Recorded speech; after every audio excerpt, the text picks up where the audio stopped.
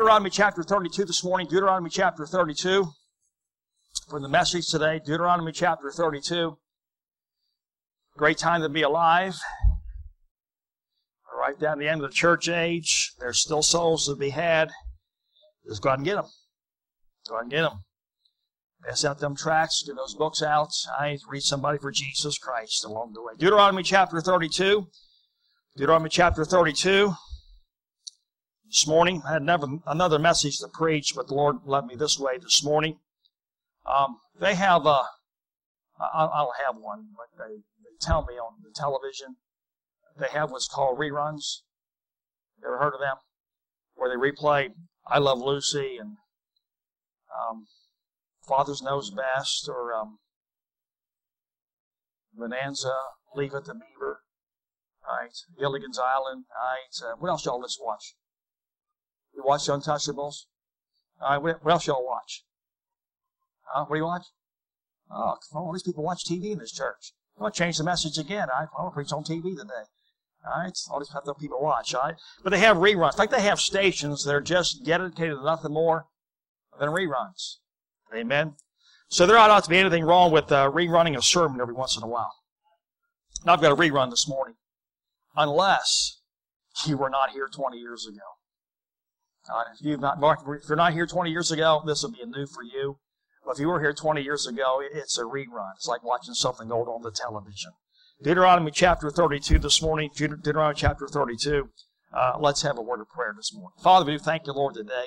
Oh, for your great grace. Thank you, Lord, today you've allowed us to live in this day and this time. Lord, to be a light for the Lord Jesus Christ. I pray, Lord, you help us, Lord, to reach our countrymen with the gospel. Lord, besides, uh, Lord, the missions that we support, and we thank the Lord, for all the many missionaries that we've put out, and uh, Lord, this past year to support. And we thank the Lord, you've allowed us to continue, Lord, without cutting a single dollar from our missions. fund.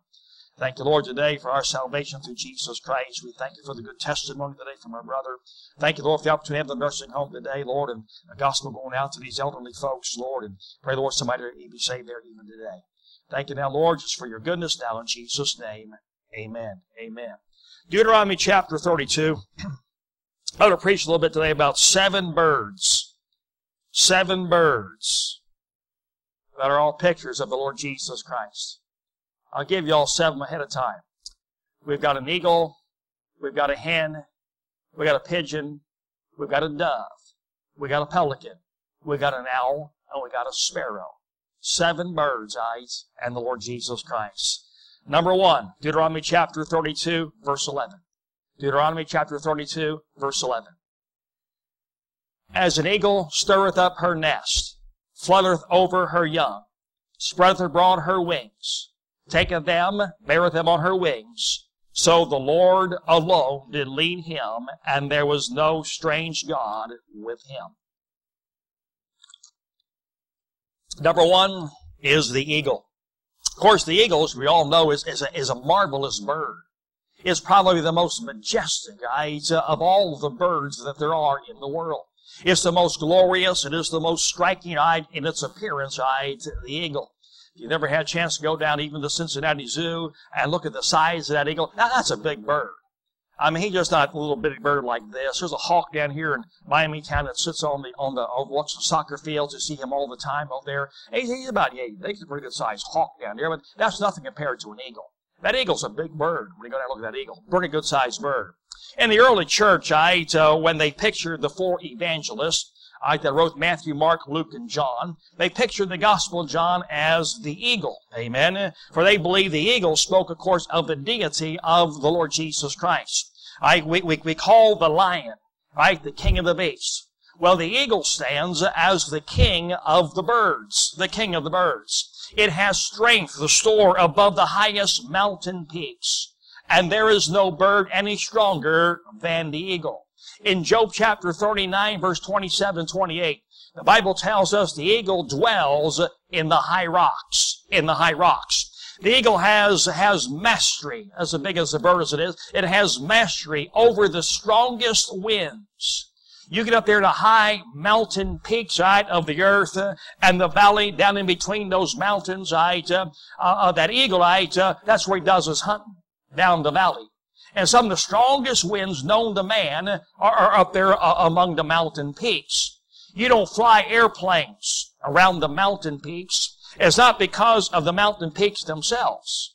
It's because of the winds being so strong that they will take that plane and just dash it into the rocks, amen, or throw it down into the canyons there around those mountain peaks. Yet that eagle, that great eagle, uh, in his great strength, uh, is able to master the winds uh, and use those winds as he soars, right, through the air.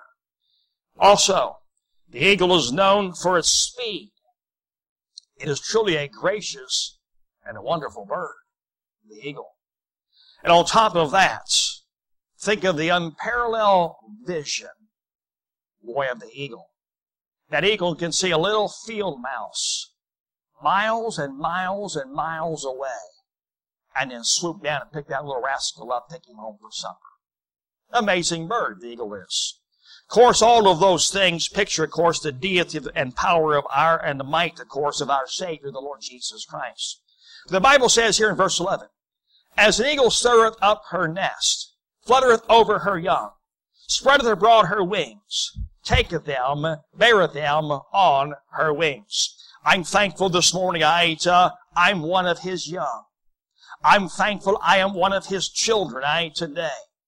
Well, what that eagle does, right, uh, is not only gives birth, right, to those young eaglets, not only feeds those young eaglets and nourishes I those young birds until they're strong enough to get out and fly on their own and soar through the mountains peaks themselves I on those strong winds. But that eagle has fed and nourished those youngs. And then one day, that eagle decides it's time for that child. It's time for that eaglet to try its own wings to see if it can fly I, even as I fly, Mother Eagle says. And what that eagle, eagle does, I, with his wings, is it stirs up that nest. And it causes those young ones, I, to be driven out of the nest. If you, if, I mean, if you step out of the eagle's nest, they usually don't build them on the ground. They usually don't build them on, you know, low trees. They build them way up high. And if you were to step out of the eagle's nest, right, it's a long way down to the next step. I mean, a long way down to the next step. And that little bird, I, when it's pushed out of the nest by mommy eagle, and it begins to plummet, I, down from its mountain peak, I, to, uh, toward the bottom perhaps of that canyon. I don't know if, if, if any birds have any brains or not. I've heard of bird brains, right, and all that stuff. But that legal, if that little eaglet's eye is able to think and the reason at all, it's the one thing that it's on its mind is, Help! As Dana goes over the edge of that cliff, out, out of that nest, uh, it's crying out for help. What it's doing. Because you know what? It doesn't stand a chance. Its wings are not strong enough yet. It's not developed enough yet to fly back to the nest on its own. And that mother bird, it'll watch. Now, there goes Junior. Now, he's going, he's going down fast. That little bird, that mother bird will watch that little bird for a while, and then she'll take flight. And she'll swoop down, amen, eh? and she won't grab that little bird in her beak. She will not grab that little bird in her claws. She'll fly under that little bird, and that little bird will land on that mother's back and fly back through those winds back into the nest. Not by its own strength, but it comes back in on the wings of Mommy Eagle. I thank God this morning that the Lord not only gives us birth, He not only feeds us and sustains us, but one of the days when the Lord says, it's time for you, right? Uh, it's time for you, uh, that for you to wait upon the Lord. It's time for you to renew your strength, to run and not to be weary, to walk and not to faint, I, to mount up with wings of eagles. And one day you're going along in your Christian life. And all of a sudden you look and no longer are you in a safe security age of the nest. Suddenly you're plummeting down I, the mountainside, I racing down at incredible speed toward the valley below. And you sense that, you know what, man, you're ruined. You sense, man, that you're doomed. Your sense, man, that it's all over, boy. This, this is bad. This is horrible. I, I, I'm fixing to, I'm fixing to smack in the very bottom of the canyon. And then here comes the Lord Jesus Christ. He does not take and grab you with his beak. He does not snatch you with his claws. He just comes and he gives you a place to land and then bears you up on his wings. And by his strength, he carries you back into the nest and he sets you there and he says, You can't do it on your own, can you? But I'm here. I'm present. I'll bear you up. I'll bear you up. Lest any time thou dash thy foot against the stone. I thank God for my great mother eagle, a picture of the Lord Jesus Christ. How many times, I can't tell you, how many times has He come and picked me up and carried me back to that place of safety? What a picture of our Savior. He truly is as the eagle. Amen. Number two, look at Matthew chapter 23. Gotta get through 70, so I can't spend a lot of time on any one of them. Matthew chapter 23. I'm glad I've got a Savior to pick me up. And He'll carry me. Amen. All wings of eagles. Ah, here's another bird. Matthew chapter 23. Hasn't he picked you up a time or two? Hasn't he saved you from man crashing in the rocks below? Boy, he has me many a times. Thank God for my mother eagle, the Lord Jesus Christ. Matthew chapter 23, secondly here, verse 37.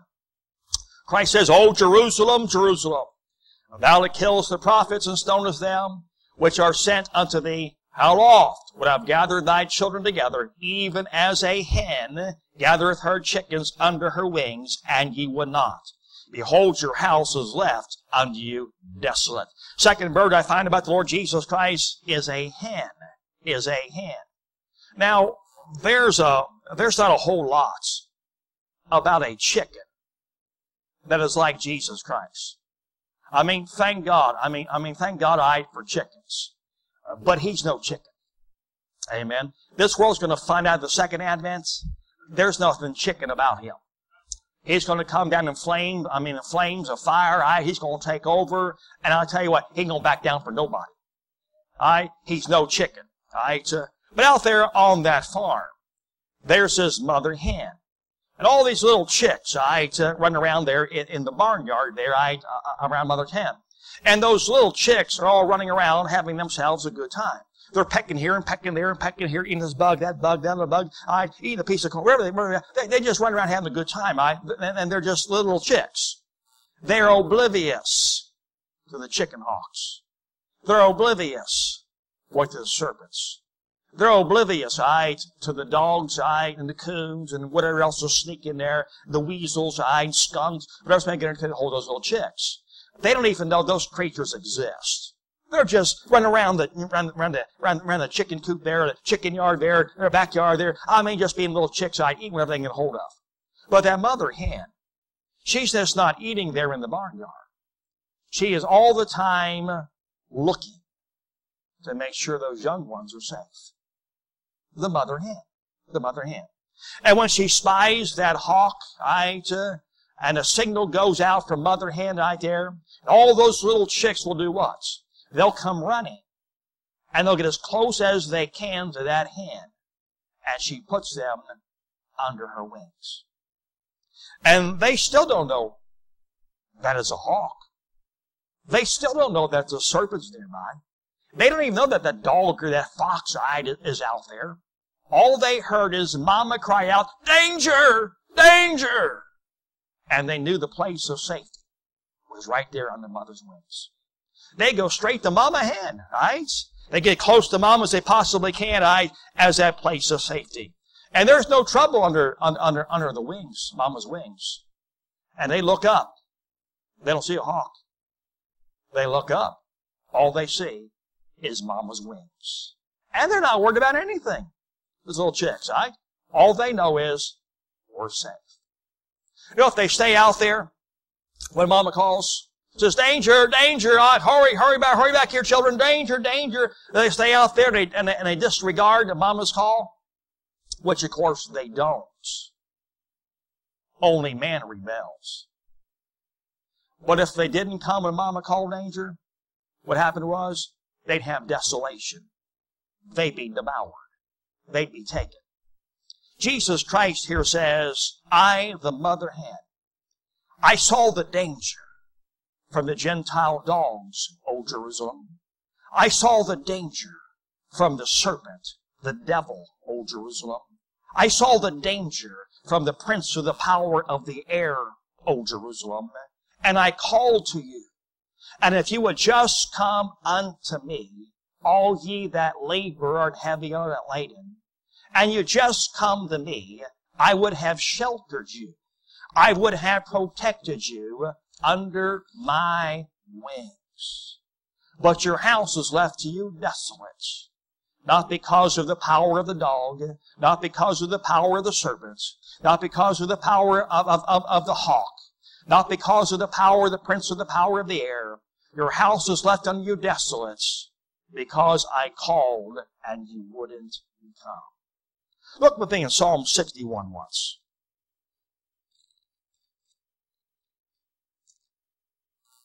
Better heed when he calls. It's a place of safety under those winds. Psalm 61. A couple verses here. Psalm 61, look at verse 4. Place of safety. Psalm 61, verse 4. Here, here the psalmist David says, I would abide in thy tabernacle forever. I will trust in the coverts of thy wings. What a place to trust in the wings. Look in Psalm 67, verse 3. Because thou hast been my help, therefore in the shadow of thy wings will I rejoice. About that, wings again, like in God having wings. Psalm 91 once. Psalm 91 once. Oh, that letter has come, come, come get underneath my wings. It's a place of safety. Psalm 91 1. He that dwelleth in the secret place of the Most High shall abide under the shadow of the Almighty. Verse 4. He shall cover thee with his feathers, and under his wings thou shalt trust. His truth shall be thy shield and buckler. There's a safe place. There is a secret place. There is a place of refuge where I am sheltered from all the enemy. And it's under the wings of my God. If you ever hear the Lord call danger, if you ever hear the scriptures cry, cry, cry out warning, don't play around. Don't fool around, to run as quick as you can and find a place of quiet rest near to the heart of God. A place where sin cannot molest, near to the heart of God. You take refuge under His wings. Amen? So, an eagle's compared to Jesus Christ. Boy, a chicken and hen's compared to Jesus Christ. How about another one? Psalm 102 once some birds, like the Lord Jesus Christ. You learn a lot from animals. Psalm 102. Let's begin in verse number 1. Third one, there's only seven of them. Here's number 3. Hear my prayer, O Lord, and let my cry come unto thee. Hide not thy face from me in the day when I am troubled. Incline thine ear unto me. In the day when I call, answer me speedily. For my days are consumed like smoke, and my bones are burned as an hearth. My heart is smitten and withered like grass, so that I, for, uh, so that I forget to eat my bread. By reason of the voice of my roaring, my bones cleave to my skin. Now notice verse 6. I am like a pelican of the wilderness. I am an owl of the deserts. Let's take in verse number six here. I, that bird, first bird mentioned there is a pelican. A pelican. You know a pelican? That's a strange bird. Uh, you ever seen a pelican? That great big mouth that got on them, a great big jaw like that pelican got. I mean, uh, I mean, you throw that throw that pelican a fish. You know what he does? He gets it down that big beak. I, the pelican got a big beak. And you throw him another fish. You know what he does? He catches that in his big beak too. And you throw him another fish, he catches that and is big, big too. That pelican does. All right. And, and, and, and, and soon you what? You throw enough fish, that beak of his eye is going to get fuller and fuller and fuller until it drags the ground. The pelican, right? You know, and God gave the pelican that beak for special reason. Of course, that's that's because He's the Creator. He knows what everybody needs. He knows what the fox needs. He knows what the dogs need. He knows what the cats need. He knows what the pelicans need. He knows what eagles need. He knows what all the creatures need because He made them. Right? And God gave that pelican eye that big for a special reason. He can load that thing up with food and fly far out into the wilderness, further than any other bird can go, way out there in the desert, I desolate places where there is no food, there is nothing that they can live on. That pelican has, has no means of self-defense. The pelican bird. I mean, they got those little dumpy legs. See, pelican? Got little dumpy legs, amen. They got those webbed feet eye. They got that big back, big, big beak eye. It kind of makes them almost look like they're front heavy eyes. Got that big neck. They got a funny little neck on them, amen. And they really have basically no self-defense. They're not going to bite you. Right, the old pelican. So God gave him wings. He gave him a big beak. So he can go far out there in the wilderness, further than any bird eye could get to, right there. And nobody can molest him and he be safe in the wilderness. They say that out there, miles and miles and miles and miles, out in the desert of Arabia, far away from any water, far away from any civilization, far away from any plant life, way out in the desert, they'll find a flock of pelicans out there, I sitting around in the desert eating pineapple and fish. That's a picture of my Savior, the Lord Jesus Christ. The Savior's out there in the wilderness place, doing battle with the devil. He's been there for 40 days and 40 nights. Has nothing to eat. And the old devil comes up and says, If thou be the Son of God, command of these stones I be made bread. What the Lord, Lord Jesus Christ told him? He says, I don't live on bread alone. I live on every word that proceedeth out of the mouth of God. His disciples one time, I came and said, Master, why don't you stop out and, and, and take some time to eat? And he said, I have meat that ye know not of, is what he said. You're going to have some times in life and some place in your Christian life well, it's going to be pretty, pretty desolate. It's going to be pretty barren. It's going to be pretty dry sometimes in the Christian life. You'll read your Bible, amen, and you know what? It doesn't seem like you're getting anything out of it for the day. Just kind of dry, desolate. I maybe your mind's someplace else, and you're just getting much out of it for the day. But thank God that pelican in the wilderness, the Lord Jesus Christ, here he comes. And you say, Lord, man, I'm starving out here in this wilderness. Man, it's famine out here in this dry, dry, dry land. And my soul is so hungry, I, for something uh, uh, of spiritual meat, I, uh, that I need so desperately. And the Lord Jesus Christ says, I brought some sustenance with me. I know, I know you're a stranger in a strange land. I know you're a pilgrim pilgrimite, uh, on just a sojourner out in this old world. And you don't belong in this world. You belong up there in glory with me. And I know there's nothing down here that they can satisfy you.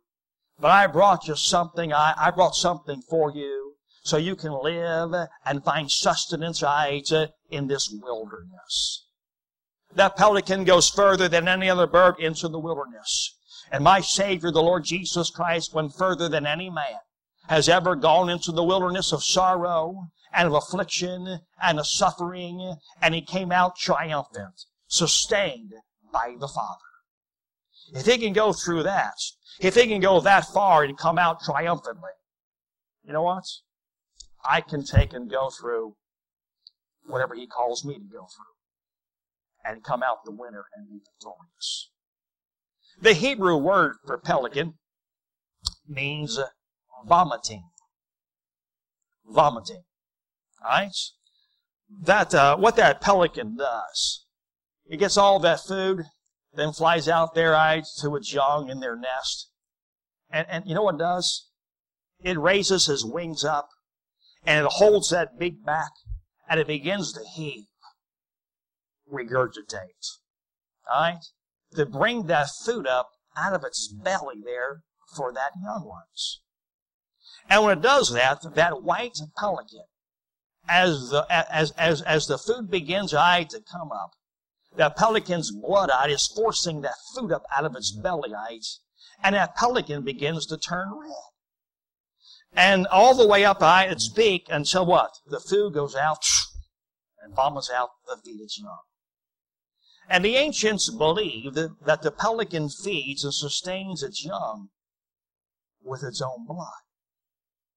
So you go into the ancient catacombs and you'll find that the, that the early Christians oftentimes pictured the Lord Jesus Christ not just as a little fish, but as a pelican. Because they believed his children live and are sustained by his own blood. How about that? I live by the blood of Jesus Christ. I'm sustained in this wilderness. Amen. I'm sustained in this wilderness place by the Lord Jesus Christ, my great power. Amen. Just some birds. God just throws these birds in the Bible. Right? For what reason? He says they're pictures. They're pictures of the Lord Jesus Christ. He's the great pelican to sustain our souls in this wilderness. Well, number six, uh, number four here, in Psalm 102, verse number six again. He says, I am like a pelican in the wilderness. I am like an owl of the deserts. The owl of the desert. You know, the owl to me speaks to us of um, separation and seclusion. The owl. You usually don't see owls out during the day. Right? You don't see them sitting on flag on, on, on telephone poles, and you don't see them sitting in trees during the daytime. I remember a few years ago coming up uh, Mount Hope, uh, not, yeah, uh, Stripple Road over here. There's a great big old white owl was sunning himself in the road early morning. Sun was up, and I didn't see him. I come up over hill, and there's this big owl like right, right in the road. I mean, he come up and he saw me. He tries to take off, and he hits the front of my car right as I'm coming down here, and he does a little flip flop out on the side of the road, and then he soars up in the tree. All right, big owl, big owl. You know, the owl speaks to me of separation and seclusion. You don't see much of them, right? Because it's basically a nocturnal animal, is it not? It doesn't. It does much of it. Doesn't do much dealings I during the day. In fact, it doesn't have much dealings with other, with other birds. It's kind of a uh, secluded, separated bird. The owl is. It's pretty much a uh, a secret bird. You know much about him. How much do we really know about the Lord Jesus Christ? The first thirty years that he lived down here on this earth. You know, you, you know, you, you have one story. You know, you have one day right, in 30 years. We read about him going into the temple there, right, and teaching those people in the temple. As Joseph and Mary, I came looking for him. One day in 30 years is all we got. Yeah, I mean, you, you take all the sermons, everything in Matthew and Mark and Luke and John, and they are, and they are great and wonderful books about the Lord Jesus Christ. But you really don't know much about him. How much do you know about all those night prayer sessions that he had with the Father. What they talk about. What they talk about. All night prayer session. See, that owl is kind of a mysterious bird. Kind of a secluded bird. Dwelling alone. There are four psalms that deal with sorrow. Psalm 88, Psalm 69, Psalm 102, and in Psalm 22. And each of those Psalms deal with loneliness and heartache so great that no one else could come, could, could, could come help and to bear that burden. That grief, that trouble, that separation, I from, from friends and loved ones. Oh, so great that no one seemed to help. You're going to have times in your life, Christian, when you're going to, when you're going to stand over a coffin some of you had this last year. Stayed over a coffin. Or you'll sit there by a sick bed. Or you're going to have a, a tragedy or a problem, right? You know, it's going to come upon you suddenly. And it'll do you good, right? Pick up the phone, try to call somebody. But sometimes you can't get hold of nobody. Because the truth of the matter is, nobody knows what you are going through. That's our God. I know when out in the desert, he's lived by himself for most, for well, for the most part, for a whole month of his whole life. Does anybody understand God stepping down? How, how can anybody understand God stepping down so low as to become a man? Does anybody really understand that? How can you explain God stepping down becoming a man? The creator of heavens and the earth, letting men spit in his face. Can you understand, I, the Son of God, crying out, My God, my God, why hast thou forsaken me? I don't know how far out in the desert you may be, but there's somebody I that knows exactly what you're going through. It's the Lord Jesus Christ. Look in Psalm 22 real fast. There's somebody who knows exactly how it feels to be forsaken by friends. Somebody knows exactly how it feels to be forsaken by loved ones. Somebody who knows exactly what it is forsaken by, forsaken by family and neighbors. He's been there. He's been forsaken, has he not? In Psalm 22 and verse number 1. Here the words are, My God, my God, why hast thou forsaken me? Why art thou so far from helping me and from the words of my roaring? He says in verse 11, Be not far from me, for trouble is near and there is none to help. Sometimes you'll go through things and there's no earthly man, no earthly woman that can help you through that time. Verse number 19, Be not thou far from me, O Lord, O my strength. Hast thee I too help or hates thee to help me. Jesus Christ, listen, has called you to take up a cross and to follow Him. But your cross will never involve bearing the sins of the whole world. Your cross will never involve the iniquity and transgression of every son of Adam being laid upon you. And your cross is one about which Jesus Christ said, I will never leave you nor forsake you. He went to the cross. He was forsaken by the Father. So you know what? So you can take up your cross, right, that He has for you and the burden He has for you. And no matter how bad it gets, He can speak to your heart and He can say, at least you're not alone. I thank God for the Lord Jesus Christ. He's my owl in the desert times of life. He's my owl in the night seasons of life. He's my companion in the most desolate places I've ever walked in my life. Thank God for that owl there in the deserts. Look with me in Leviticus chapter 5 once. Here's another one. Leviticus there's some, there's some birds that got through in the Bible.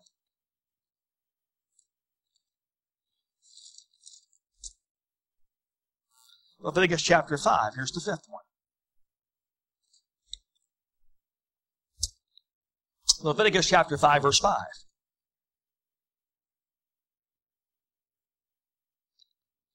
Leviticus 5, 5. It shall be when he shall be guilty in one of these things, he shall confess that uh, he hath sinned in that thing. Good to make confession to God. When you're wrong, make confession. All right? He shall bring his trespass offering unto the Lord for his sin, which he hath sinned, a female from, from, from the flock, a lamb or kid of the goats, for a sin offering, and the priest shall make atonement for him concerning his sin. And if he be not able to bring a lamb, then he shall bring for his trespass, uh, which he hath committed, two turtle doves or two young pigeons unto the Lord. One for a sin offering, the other for a burnt offering. Alright? So here we got this little dove mentioned here, a turtle dove. Alright? So he says, ladies and gentlemen, I was guilty. I was guilty before God. I had sinned. I trespassed. I violated God's law. Guilty, sin, trespass. Alright? That's what happened. And two things are necessary. First, he says, confession of that sin. But that won't save me because it's just a confession. It's an acknowledgement, but it's not a payment. A payment I must be made. And the blood sacrifice is the payment I, that God requires. A blood sacrifice. And back in the Old Testament days, if you were too poor and you could not afford a lamb, God would let you take and bring a dove as a sacrifice. Now, there are some amazing things about the dove. Like I could preach a whole message just on the dove. Right? It has a mournful sound, a sad sound. And they tell me a dove doesn't have any gallbladder on the dove. And it's the gallbladder, right, uh, that produces the gall that causes bitterness of taste and bitterness in digestion and bitterness, right, that sours the stomach and bitterness, I, that sours your hearts. What a picture, Lord Jesus Christ, the dove. Surrounded by sin, surrounded by rebellion, surrounded by cursing, surrounded by swearing and lying and deceit. And you say, well, why in the world doesn't he just take out his sword and just kill and slay, and destroy? Because he's not bitter against you. He doesn't hate you. He doesn't despise you. And uh, you look in your life, and I look in my life, and I think of the ways that I've treated the Lord Jesus Christ. And the way that I've, uh, you know, been unfaithful to my Savior. I think of my attitude toward His laws and commandments in the Scriptures. And I think of how I've turned I, uh, I have to, I've turned I, uh, you know, from His righteous decrees in the Word of God. And I think how I've violated, broken His heart at times. I can't hardly believe He's not my enemy.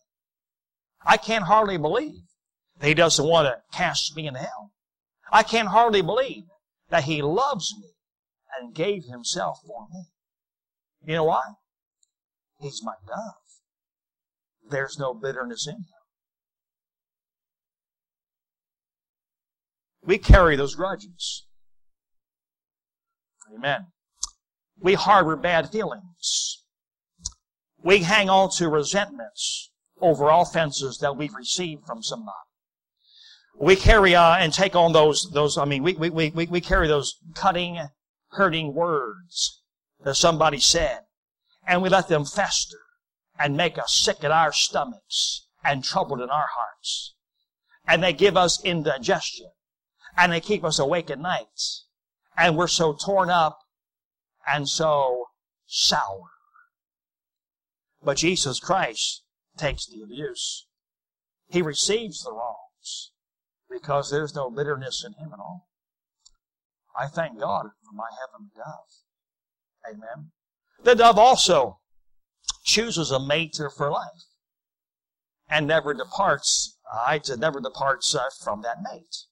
Jesus Christ, my dove. Oh, I wronged him. I wronged him. I'm not what I ought to be. Amen. But he said, I'll never leave you nor forsake you. The dove also builds a nest, and it never builds another nest. It will repair the nest, right? Uh, but once that dove takes a mate and builds that nest, it stays there all the days of its life. What if the dove, you know, could speak? I believe that dove would say to the female dove, honey, we may have to take and patch up the nest from time to time, but I'm here until the Lord calls me home. And I'm sure the female dove would say aye to the male dove, honey, I don't care if your feathers are turning gray. I'm here with you until the Lord calls me home. That's a picture of the Lord Jesus Christ, my heavenly dove. Jesus Christ and His church. If you ever um, do any dove hunting? I, I did one time with my father-in-law. I'm, I'm not a hunter.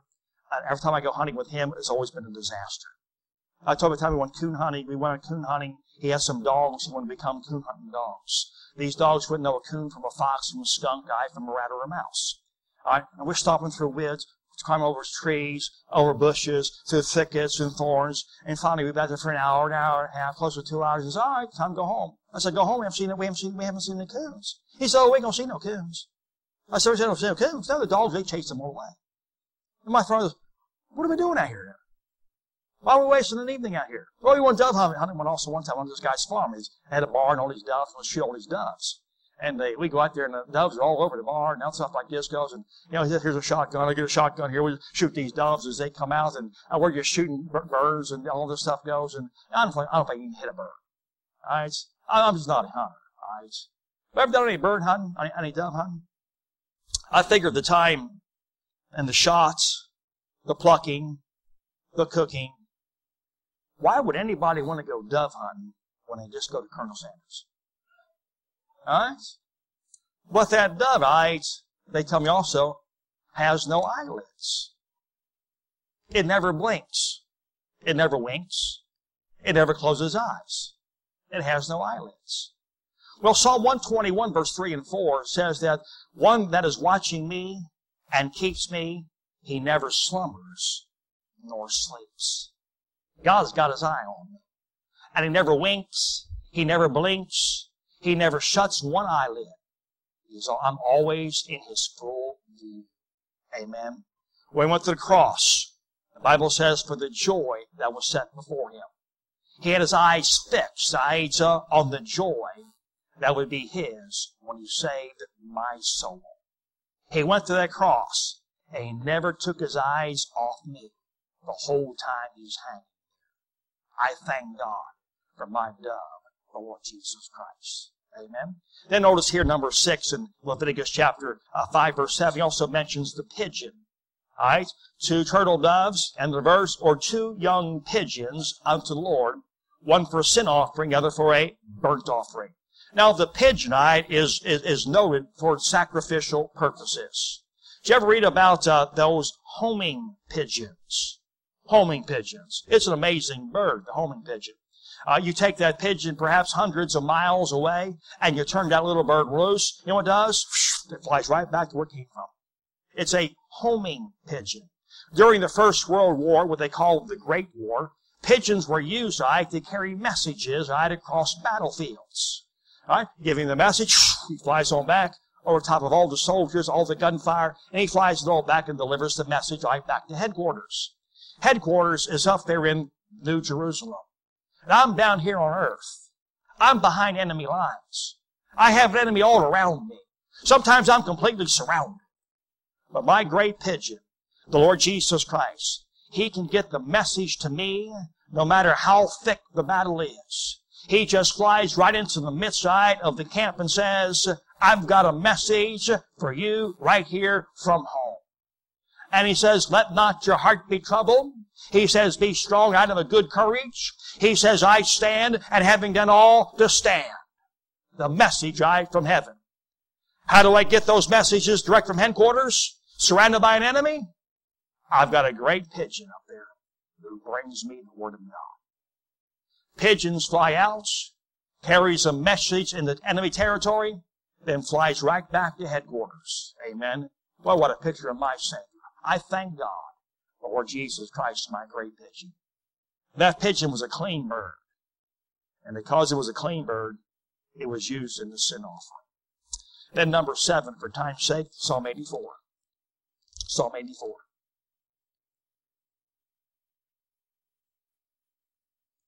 seven birds. Psalm 84. Verse 1. How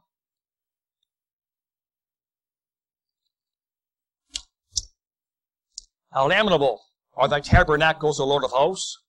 My soul longeth, yea, even fainteth, for the courts of the Lord. My heart and my flesh crieth out for the living God. Yea, the sparrow hath found an house, and the, the sparrow hides a, a nest for herself, where she may lay her young, even thine altars, O Lord of hosts, my King and my God.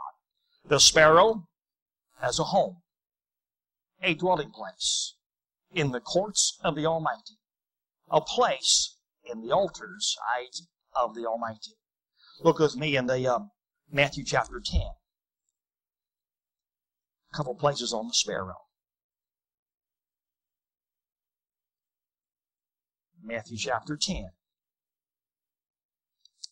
Of course, the sparrow is the least of all birds. The least. In Matthew chapter 10 and verse 29. Are not two sparrows stole for a farthing, and one of them shall not fall on the ground without your Father. But the very hairs of your head are all numbered. He says in verse 31, Fear ye not therefore, for ye have more value than many sparrows. There's not one sparrow that falls to the earth that your heavenly Father doesn't know about. You know what? He cares about sparrows. All right? Leviticus chapter 14 now. Sparrows. The least of all the birds. All right, Leviticus chapter 14, of course, this is the chapter here on the leper. And of course, leprosy is a picture of sin. It runs deeper than the skin. It runs through the whole body. It kills. It contaminates every body it comes in contact with. And there is no way to get over that leprosy unless God heals you. Great picture of sin. But notice in verse number 2, Leviticus 14, verse 2. And the priest shall go forth out of camp the priest shall look, and behold, if the plague of leprosy be healed in the leper, then shall the priest command to, be, to take for him, that is to be cleansed, two birds alive, and clean, and cedar wood, and scarlet in hyssop.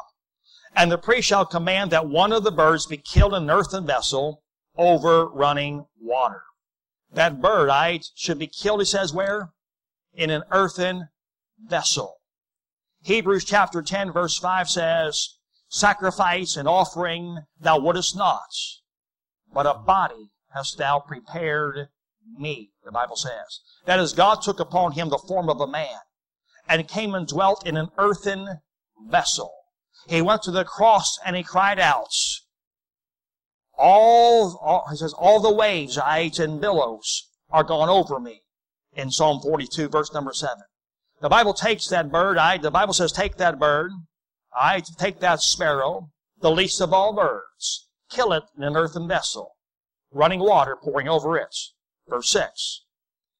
As for the living bird, he shall take it in the cedar wood, and the scarlet, and the hyssop, and dip, and shall dip them and the living bird in the blood of the bird that was killed over the running water. And he shall sprinkle blood upon him that is be cleansed from the leprosy seven times, and pronounce him clean, and shall let the living bird loose in the open field two birds, two sparrows, if you will, the least of all birds. I know what I am. I am the very least. I'm the lowest thing in all God's creation. I'm a worm. Amen. Just the dust of the earth. But to think that the Son of God, Lord Jesus Christ, could come down so low as to like me to be like, to like me like a sparrow. One sparrow's killed, one sparrow is slain, and his blood was to be shed, and the other sparrow would need not die. What a picture. One sparrow dies, the other sparrow lives. All and all it had to do, all it had to do with was what? Was to be dipped in the blood and it can be set free. Dipped in the blood and set free. I've been set free. Amen. I'm like a sparrow. I'm, I'm on the housetops. I've been set free because I've been washed in the blood of the other sparrow that was slain so I can go free. The Lord Jesus Christ came. He died in my place. He died in my place. So I need not die. He took my death so I may not die. And all I need do is be washed in the blood and I'm set free. If you're here this morning and you've never been washed in the blood of the Lord Jesus Christ, you need to be. You need to be set free from your sin. You need to be set free from your condemnation. You need to be set free, I, and only one way to do so is by the blood of the Savior. I thank God I've got an eagle. Thank God I've got a hen. And I've got a pigeon. I've got a dove. I've got a pelican. I've got an owl. And I got a sparrow. Job says in Job 12 verse 7, But ask now the beast, and they shall teach you, and the fowls of the air, and they shall tell thee. You can learn a lot from birds. In Romans chapter 1 verse 20, Paul says, For the invisible things of him from the creation of the world are clearly seen, being understood by the things that are made, even his eternal power and Godhead, so they are without excuse. What God's made, His creation, lessons all around us that point us to the Lord Jesus Christ. Is He your Savior today? Have you been washed in the blood today? If not, why don't you come and be saved today? Let's stand this morning. Heads bowed, eyes closed. God spoke to your hearts. Maybe you need a, maybe you need to be bore up today by the eagle. Maybe you need to flee under the, under the hen's wings. Maybe you need to be fed because you're out there in that wilderness by that pelican. Maybe you need to be saved like that little sparrow. God spoke to your heart to come today. To come today. Father, we ask the Lord to speak to the hearts of those who are here now. Thank you for the Word of God today. Thank you for the message. Pray, Lord, you might take and help us today to what a wonderful Savior we've got. And realize, Lord, He's all these things to us and more. Pray now, Lord, you speak to hearts of once lost. God, I pray they get saved now in Jesus' name. Amen. Their heads bowed, eyes closed just for a moment. God spoke to your hearts. You're welcome to come to this altar of prayer. Seven birds. Seven birds. All picture the Lord Jesus Christ. need to come, you come.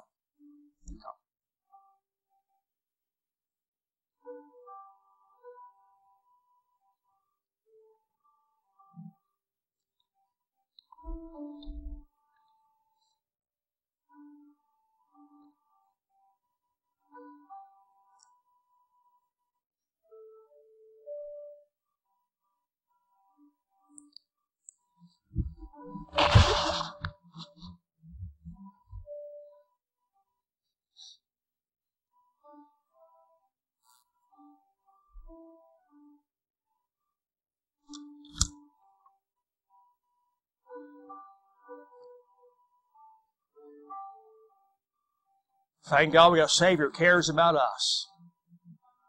He'll bear us up on those wings of eagles.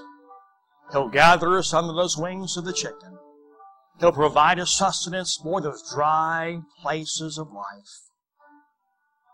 Thank God He's got the blood set us free.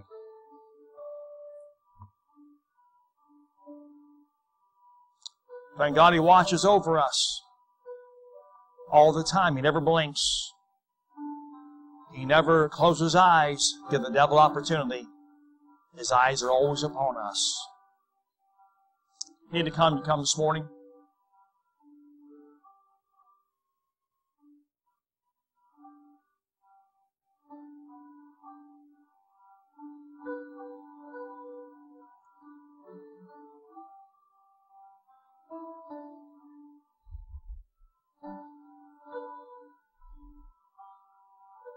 Oh.